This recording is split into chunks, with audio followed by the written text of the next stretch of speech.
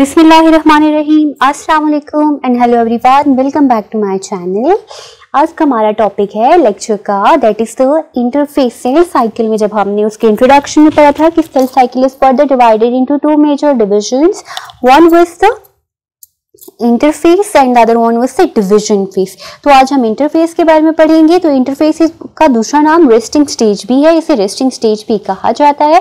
Like like, ये वो time duration है जिसमें सेल डिवाइड नहीं करता। इस वजह से इसे रेस्टिंग स्टेज बोला है। सो so, ये क्या है? कि it is the period between end of one cell division and the start of next cell division कि एक सेल डिवीज़न के एंड होने से लेके जब एक सेल डिवीज़न एंड हो जाता है और दूसरा जब स्टार्ट होने लगता है, उसके दरमियान का जितना भी ड्यूरेशन होगा, उसे इंटरफेस या रेस्टिंग स्टेज कहा जाता है। ठीक है? कि एक सेल डिवाइड हो गया, उस और दूसरे सेल जो है डिवाइड होने की तैयारी कर रहा है। डिवाइड होने से पहले के दरमियान का जितना भी टाइम होगा, वो इंटरफेस कहलाएगा। तो इंटरफेस में न्यूक्लियोलिस और न्यूक्लियर एनवेलप काफ़ी डिस्टिंग्विशेबल होते हैं। Have a look at the diagram के डायग्राम में देखिए कि न्यूक्लियर एनवेलप और न्यूक्लियोलिस ये आपको काफ़ी प्रोमिनेंटली नज़र आ रहे हैं। तो इंटरफेस के स्टेज में दोनों आपको प्रॉपर नज़र आते हैं, ठीक है? डिस्टिंग्विशेबल होते हैं, आप उसमें फ़र्क कर सकते हैं। न्यूक्लियोलिस क्या है? It is the region inside the nucleus where the synthesis of ribosomes occur कि जो राइबोसोम्स की फैक्ट्री है राइबोसोम्स को बनाने का काम किसका है? न्यूक्लियोलिस का। और न्यूक्लियर मतलब क्या है? कि ये न्यूक्लियस के इर्द जो न्यूक्लियस के इर्द गिर्द एनवेलप है that is known as the nuclear envelope और यहाँ पे क्रोमोसोम किस फॉर्म में होंगे? They will be in the form of thread like chromatin कि यहाँ पे क्रोमोसोम जो है, जो आर्म्स क्रोमोसोम का जो स्ट्रक्चर लाइक दिस है तो क्रोमोसोम इस फॉर्म में नहीं, बल्कि थ्रेड लाइक स्ट्रक्चर पे होंगे, जिसे क्रोमाटिन कहते हैं। क्रोमाटिन बनता किस चीज़ से है? It is made up of DNA plus protein but कौन सा protein histone protein keep in mind के जो प्रोटीन यूज़ होता है that is the histone protein तो डीएनए प्लस प्रोटीन जो है ना, ये क्रोमाटिन बना रही है।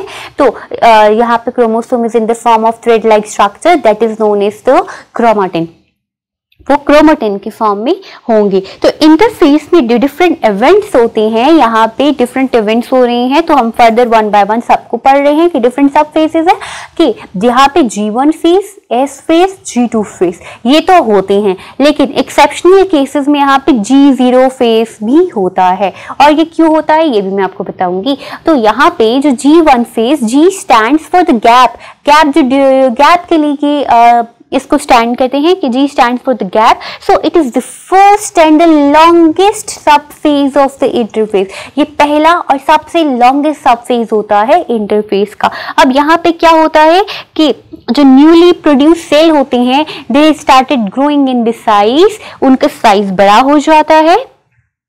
They also undergo chemical changes ये केमिकल चेंजेस भी हो जाती हैं. Then they also required the synthesis of R N A ribosomes and enzymes कि यहाँ पे आर एन ए राइबोसोम्स और एंजाइम्स की सिंथेसिस भी होती है. फॉर्मेशन होती है. क्यों होती है? क्योंकि these are helping in the growth of the cells ये ग्रोथ ऑफ़ द सेल्स में भी हेल्प कर रही हैं और फर्दर जो डीएनए रेप्लिकेशन होगा, उसके लिए भी सेल को प्रिपेयर कर रहे हैं, ठीक है? डीएनए रेप्लिकेशन के लिए भी प्रिपेयर कर रहे हैं और सेल की ग्रोथ में भी यहाँ पे जीवन फ़ेज़ में ये हेल्प आउट कर रहे हैं। तो यहाँ पे क्या हो जाएगा कि जीवन फ़ेज़ जब हो जाता है तो या फर्दर क्या होता है कि on depending on the stimulus उसे सिग्नल कैसे मिल रहे हैं? सिग्नल की टाइप्स के ऊपर डिपेंड करते हुए या तो वो जी ज़ीरो फ़ेज़ में या फिर एस फ़ेज़ में चला जाता है। तो जी ज़ीरो फ़ेज़ में या एस फ़ेज़ में जाता है। अब फॉर एग्ज़ाम्पल उसे ऐसे सिग्नल्स मिले हैं कि वो जी ज़ीरो फ़ेज़ में चला गया है। तो अब जी ज़ीरो फ़ेज़ कौन सा है? ये वो फ़ेज़ है जहाँ पे डिविजन स्टॉप हो जाती है। मतलब यहाँ पे कोई सेल डिविजन नहीं होती सेल की डिविजन स्टॉप हो जाएगी और आइधर ये जो है ना परमानेंटली होगी या फिर टेम्परली होगी। या तो टेम्परली स्टॉप हो जाएँगी या फिर परमानेंटली हो जाएँगे। लेकिन डिविजन स्टॉप हो गए बट सेल जो है they will perform their own specified function कि सेल अपने सारे स्पेसिफाइड फ़ंक्शन सारे जॉब्स को वो परफॉर्म करेगा। फॉर एग्ज़ाम्पल अगर हम परमानेंटली की बात करते हैं neurons neuron is present in your body कि neuron is performing their own job but they are not dividing neuron के जो सेल्स हैं वो डिवाइड नहीं हो रहे but they are doing their job कि वो अपना जॉब कर रहे हैं। इसी तरह कुछ सेल्स हैं जो सेमी परमानेंटली जो है स्टॉप हो जाते हैं। लाइक like, उनको जब सिग्नल्स मिलेगा तो वो दोबारा से डिविजन स्टार्ट कर देंगे। फॉर एग्ज़ाम्पल आपकी जो बॉडी में आपकी किडनीज के सेल हैं आपके लिवर्स के सेल हैं वो सेमी परमानेंटली स्टॉप हो जाते हैं। और कुछ सेल्स ऐसे हैं जो कि बिल्कुल जो कि परमानेंट कंप्लीटली जो है ना वो uh, क्या करते हैं? कि जी नोट फ़ेज़ में इंटर ही नहीं करते, ठीक है? वो जब जी नोट फ़ेज़ में इंटर नहीं करेंगे तो वो ऑल द टाइम डिवाइड होते रहेंगे होते रहेंगे होते रहेंगे। तो उसमें एग्ज़ाम्पल किसकी आएगी आपकी? एपिथेलियल सेल्स की आएगी। मीन्स आपकी जो स्किन सेल्स होती है आउटर लेयर ऑफ़ सेल्स होती हैं एपिथेलियल सेल उसकी एग्ज़ाम्पल आएगी उसमें कि वो ऑल द टाइम डिवाइड होते रहेंगे। सो जी नॉट फ़ेज़ में क्यों एंटर करें? Due to some specific condition due to some specific stimulus अगर वो नहीं मिला तो किसमें वो एंटर होंगे? एस फ़ेज़ में। एस फ़ेज़ को कहते हैं synthesis S stand for synthesis phase अब यहाँ पे क्या होगा कि जो डीएनए की रेप्लीकेशन है डीएनए रेप्लीकेट हो जाएगा. Replicate means it will double in size अब डीएनए अपने साइज़ में डबल हो गया है, क्योंकि जीवन फ़ेज़ ने उसे प्रिपेयर कर दिया था। अब सेल की uh, ग्रोथ भी होगी, ठीक है? सेल जो है ना, वो साइज़ में भी ग्रो करता रहेगा। ये नहीं कि जीवन फ़ेज़ में ग्रोथ हो गई थी तो बस उसने स्टॉप कर दिया था। No it will continue to grow in the size ठीक है? Then there will also occur the synthesis of the enzymes and the proteins के प्रोटीन्स और इंजाइम्स की सिंथेसिस भी होगी, क्योंकि ये सिंथेसिस जो है, अब सेल की ग्रोथ में भी हेल्प कर रहे हैं और फर्दर जी टू फ़ेज़ में भी हेल्प करेंगे। तो अब जब एस फ़ेज़ कंप्लीट हो जाता है, जहाँ पे डीएनए की रेप्लिकेशन हो जाती है तो अब क्या हो जाएगा?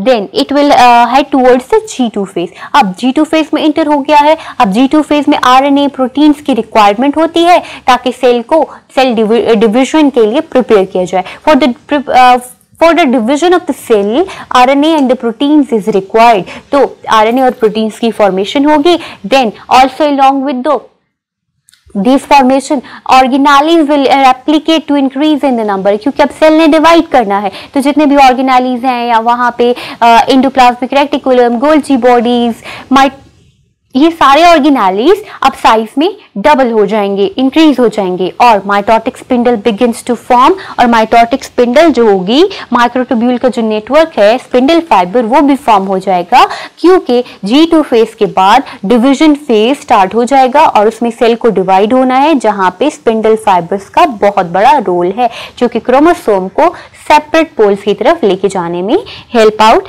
करेंगे।